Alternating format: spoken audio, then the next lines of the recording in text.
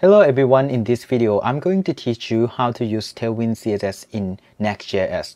I have installed Next.js over here in my computer. If you don't know how to install Next.js, please feel free to watch my previous video. I will put the link in the description.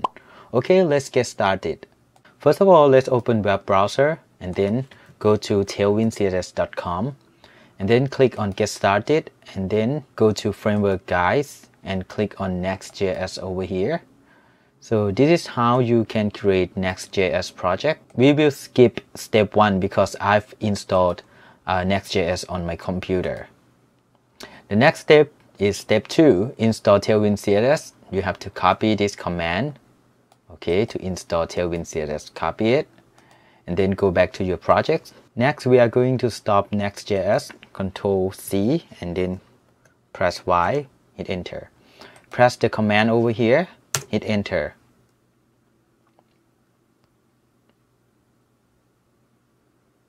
Okay, after the installation done, we have to execute the second command, which is this one.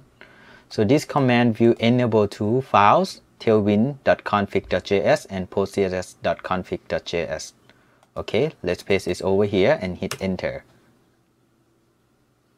Okay, you will see there's two files are created over here. The next step that you have to do, you have to specify content.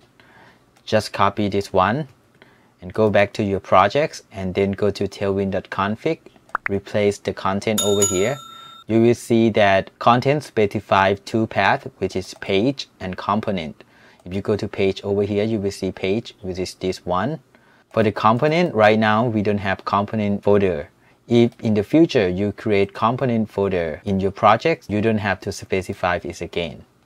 Alright next step what we have to do is step 4 uh, we go to global.css and we paste this tailwind over there.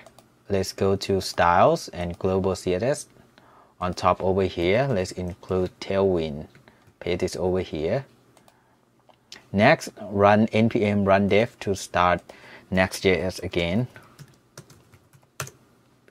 let's click control click here to open next.js the next step that we have to do is step 6 which is start using Tailwind in our project. Okay, let's go to page and index.js.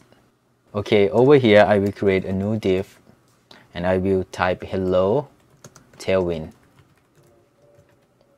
Okay, I will put class name over here and then I can specify Tailwind CSS class. For example, text red 500. Okay, and BG blue 300 let's save it. Let's take a look. You will see tailwind works in our projects. Okay this is all about this video. If you like this video feel free to click like subscribe and don't forget to comment down below. Thank you so much for watching